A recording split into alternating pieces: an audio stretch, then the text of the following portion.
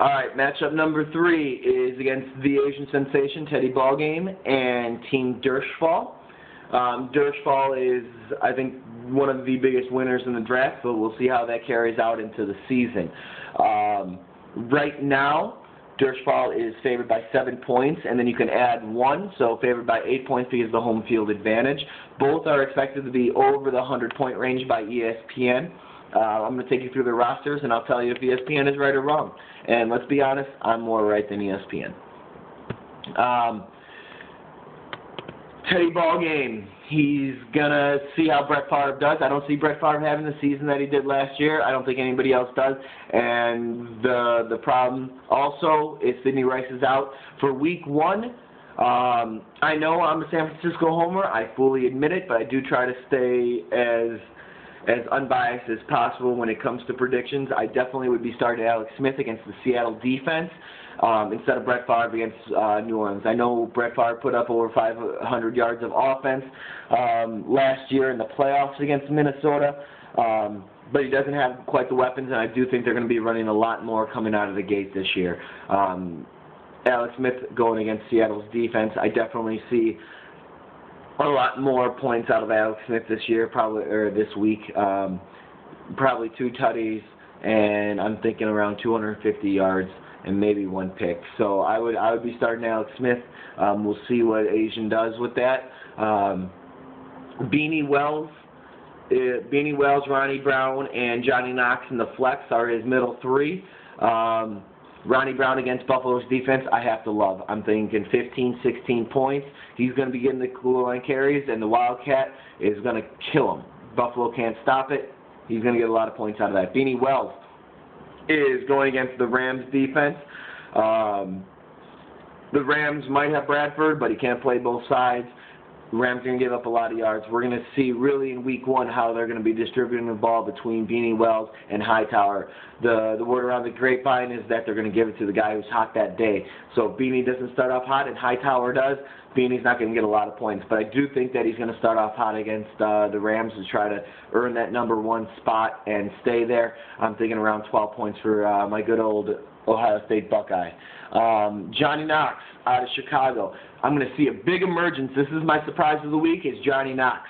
Um, he's going to go for 14 points, one tutty, about 80 to 90 yards um, against the Detroit defense. And Cutler, Johnny Knox is going to be at watch him. Um, on Durchfalle's side, he's got Forte, he's got Moreno, he's got Crabtree in his middle three.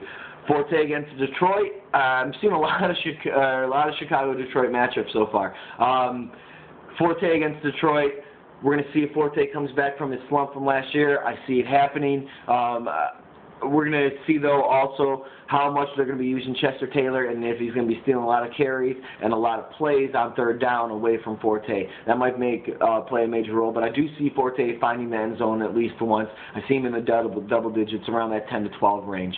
Uh, Knowshon Moreno, I have no idea what's going on with Knowshon Moreno. No, there's no anybody else, just because in Denver we have no idea what's going on.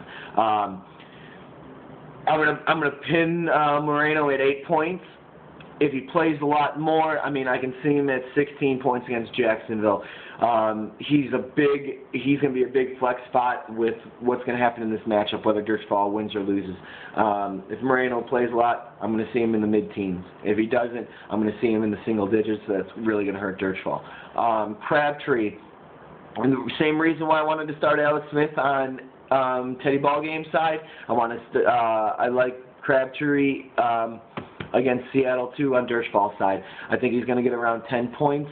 Um, he might get 100 yards, which will give him 10 points. He might get about 50 yards and a touch, uh, a touchdown. So we'll see how um, that does in week one. Like I said, week one is a crapshoot. We don't really know how they're going to come out and game plan. But week one, it usually favors the defense.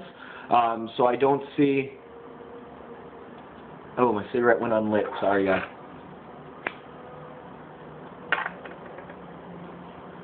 Um, but I don't see Crabtree not having a big game, or at least a decent game coming out his uh, first full season, first time he's ever been in Week One. Um, receivers, we have Steve Smith, number two, from um, the Giants, and Mike Sims Walker that Sensation has. Um, Both of them are solid. I've seen both at around nine points, so I'm seeing 18 points out of their wide receiver slot. Um, Durchfalle with Wayne, Reggie Wayne, and DeSean Jackson. Reggie Wayne is going to put up about 15, 16 points this this week. Um, the only thing that's going to hurt him is Manning is in the in the red zone tends to look even more at Pierre Garcon and Dallas Clark. But the more attention Pierre Garcon has, can only mean good, I guess, for Reggie Wayne. He's going to open him up, especially down in the red zone. Um, DeSean Jackson against Green Bay. I see him having a flub day, uh, flub week. Um, I see him at around five, maybe six points. Um, 49ers defense, I see a lot of points for against Seattle. Um, with a lot of turnover Seattle has this year, we'll see how it happens, but I'm seeing around uh, 12, 14 points. Look for the, the Niners to have a defensive touchdown. Bengals defense against New England. Um, if it was my team for Asian, I would bench the Bengals defense. I like the Bengals defense this year. I don't like them in this matchup. Um, We'll see if he keeps them. If he does, I'm thinking only one, two points, and there's a slight chance they're going in the negatives. The Patriots want to make a statement on offense this year. We'll see if it happens. Um, I think Durchfalle, the one smart thing he did, he placed Michael Bush, which I think is going to be a starter for him down the road. But in week one, I don't see it happening uh, because Oakland's a more uh, Oakland is pretty stupid. Um, other than that, my prediction for this week I have Durchfalle winning by 20. Um, I see them around that 110 range, and I see Asian around uh, the 90 range. That's my story. It's sticking to it. Sorry, ball game. You're starting off the season 0 and 1. Durchfalle, you get um, you you. Oh shit! I messed that whole thing up, but um, they definitely get helped by his good draft, and we'll see it in week one. Sorry about that ending, guys, but um, like I said, Durchfalle by 20.